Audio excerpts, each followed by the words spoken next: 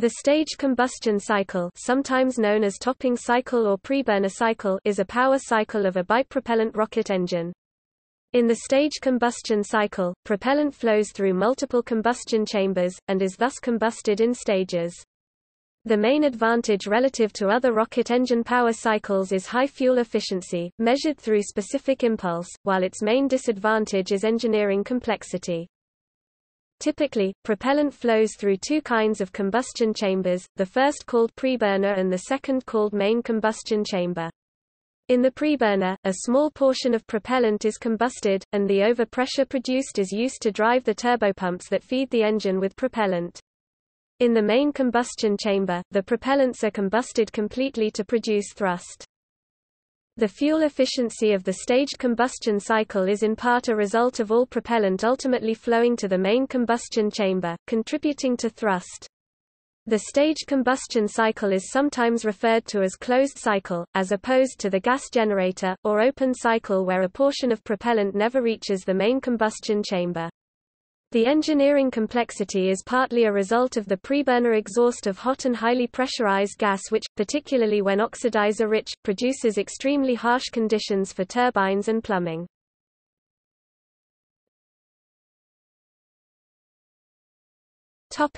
History Staged combustion was first proposed by Alexei Isaev in 1949. The first stage combustion engine was the S-1.5400-11D33 used in the Soviet planetary rocket, designed by Melnikov, a former assistant to Isaev. About the same time 1959, Nikolai Kuznetsov began work on the closed-cycle engine NK-9 for Korolev's orbital ICBM, GR-1.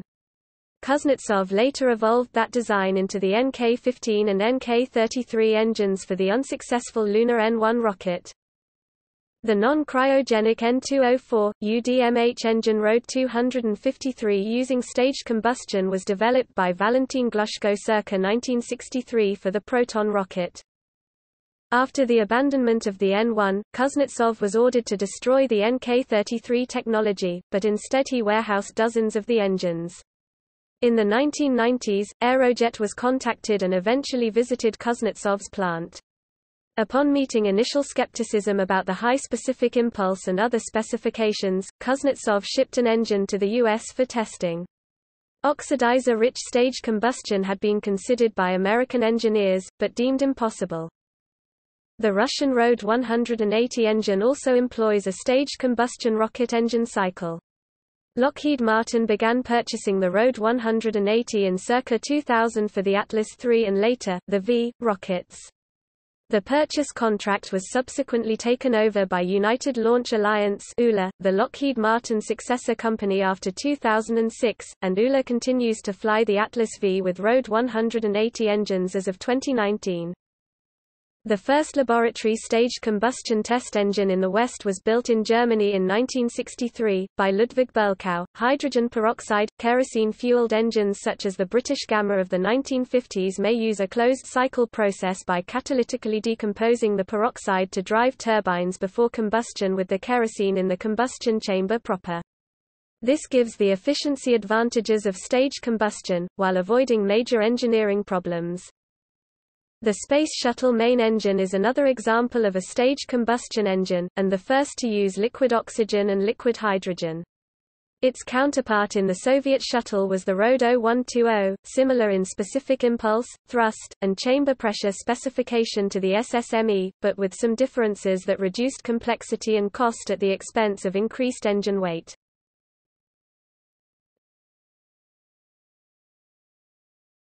Topic: Variants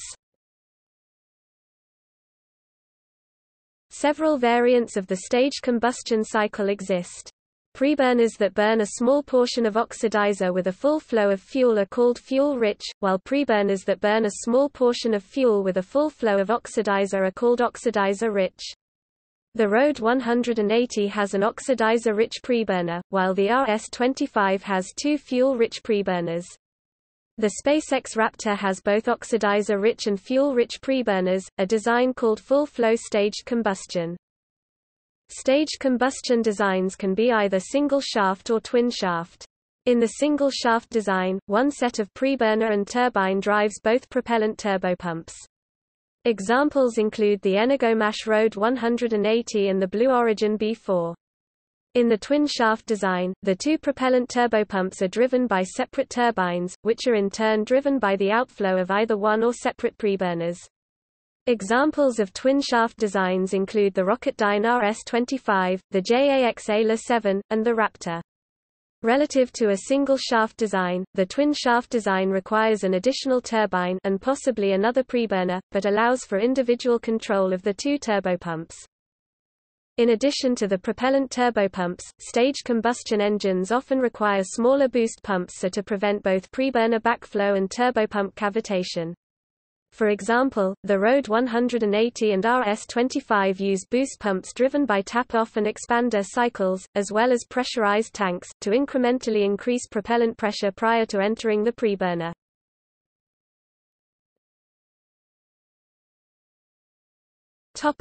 Full-flow staged combustion cycle Full-flow staged combustion FFSC is a twin-shaft staged combustion cycle that uses both oxidizer-rich and fuel-rich preburners. The cycle allows full flow of both propellants through the turbines, hence the name. The fuel turbopump is driven by the fuel-rich preburner, and the oxidizer turbopump is driven by the oxidizer-rich preburner. Benefits of the full-flow staged combustion cycle include turbines that run cooler and at lower pressure, due to increased mass flow, leading to a longer engine life and higher reliability. As an example, up to 25 flights were anticipated for an engine design studied by the DLR German Aerospace Center in the frame of the Spaceliner project. Further, the full flow cycle eliminates the need for an interpropellant turbine seal normally required to separate oxidizer-rich gas from the fuel turbopump or fuel-rich gas from the oxidizer turbopump, thus improving reliability. Since the use of both fuel and oxidizer preburners results in full gasification of each propellant before entering the combustion chamber, FFSC engines belong to a broader class of rocket engines called gas-gas engines. Full gasification of components leads to faster chemical reactions in the combustion chamber, which improves performance. Potential disadvantages of the full-flow staged combustion cycle include increased engineering complexity of two preburners, relative to a single-shaft staged combustion cycle, as well as an increased parts count.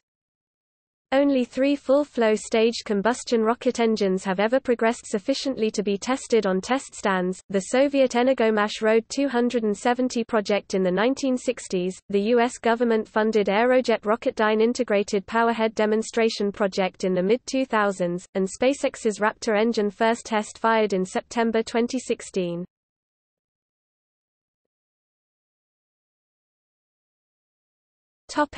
Applications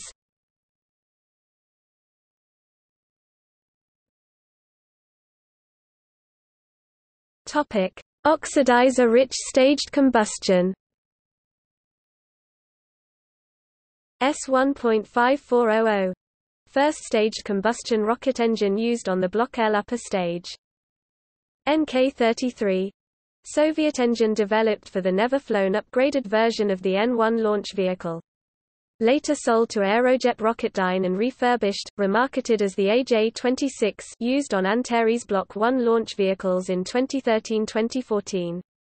In use on the Soyuz 2-1V. P-111 liquid oxygen, kerosene demonstrator engine developed between 1956 and 1967 at Bölkow GmbH later Astrium. Road 170, Road 171, Road 180 and Road 191 a series of Soviet and Russian engines used on the Energia, Zenit, Atlas V, Angara and previously on the Atlas III launch vehicles. Road 171 and its RD-171M successor, minus 180 and minus 191 are derivatives of Road 170. YF-100 Chinese engine developed in the 2000s, used on the Long March 5, Long March 6, and Long March 7. R-1 an Aerojet Rocketdyne project partially funded by the United States Air Force as a potential replacement for the Road 180 Russian engine. B-4 Blue Origin LCH-4, LOX engine Using the oxygen-rich stage combustion cycle, planned to be used on the ULA Vulcan launch vehicle, which will replace the Atlas V and Delta IV, first flight test in 2019 and also on Blue Origin's New Glenn launch vehicle, with first flight test no earlier than 2020. Road 253 Soviet engine developed in the 1960s and used on the Proton launch vehicle's first stage. Later variants include the Road 275 and RD-275M. SCE 200 Indian RP-1 LOX main stage engine in development. Hadley Ursa Major Technologies LOX kerosene booster engine under development near Denver, Colorado.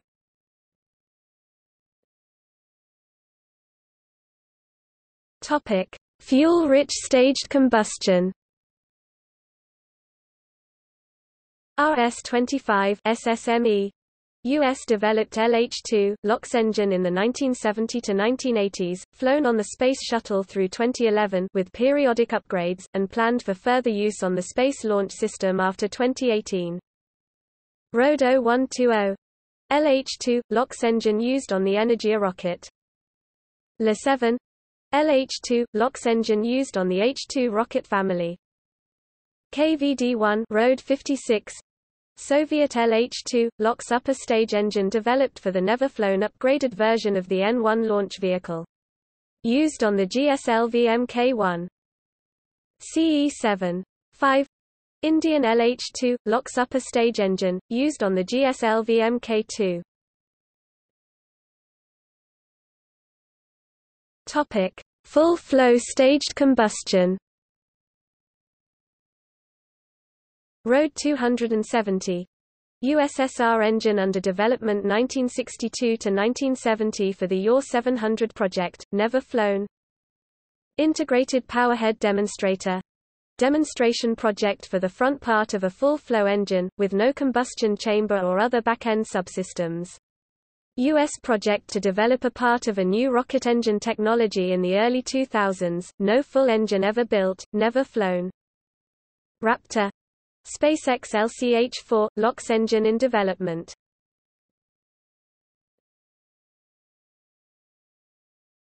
Topic. Current, past applications of staged combustion engines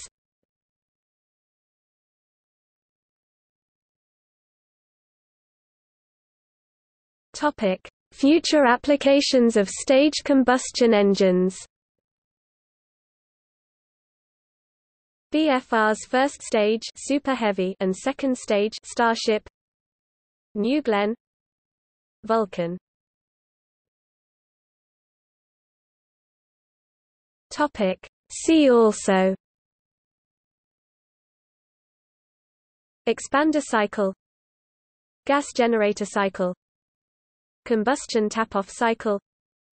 Pressure-fed engine